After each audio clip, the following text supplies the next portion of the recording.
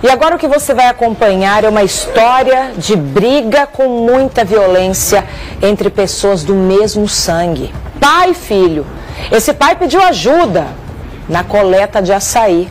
Isso aconteceu lá em Melgaço, no Marajó. E sabe o que, que o filho fez? Além de se recusar a fazer o serviço, quem conta pra gente e ao vivo é Marlon Nascimento por Skype. Marlon, era para um filho ajudar um pai, isso é natural. Mas esse filho, além de não querer ajudá-lo, fez mais, né? Pior. Conta pra gente. Olá, Priscila, boa noite. Infelizmente, a gente entrando para trazer essa história, olha só, o próprio filho acabou desferindo um golpe de facão no pai, justamente como questionado. O pai, o seu Hélio dos Santos, ele estava o dia inteiro já no trabalho, embarcando a sair para ser comercializado no estado do Amapá. Quando ele chegou na sua residência, o filho estava em casa, na tranquilidade do lar, confortavelmente. O pai questionou por que, que ele não tinha trabalhado na ausência do patriarca da família. O filho ficou muito irritado. Segundo testemunhas, esse diálogo entre os dois aconteceu na cozinha. Foi só durante alguns segundos em que o filho se ausentou da cozinha e já retornou armado com o facão e partiu para cima do pai. No primeiro golpe, o pai conseguiu se esquivar, mas acabou caindo para o quintal lá da residência.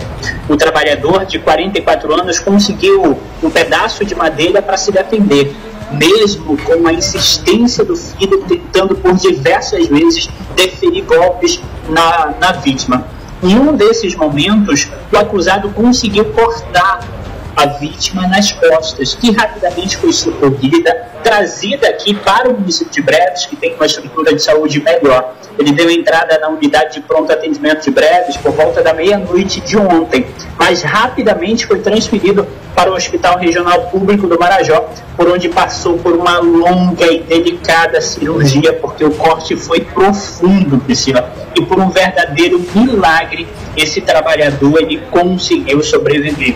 Os próprios familiares do acusado, que é o Benedito dos Santos, eles procuraram a delegacia de breves para registrar o boletim de ocorrência, mesmo a vítima ainda estando internada, a situação que está muito delicada, esse crime causou revolta nos próprios familiares e na população da zona rural do município de Melgaço.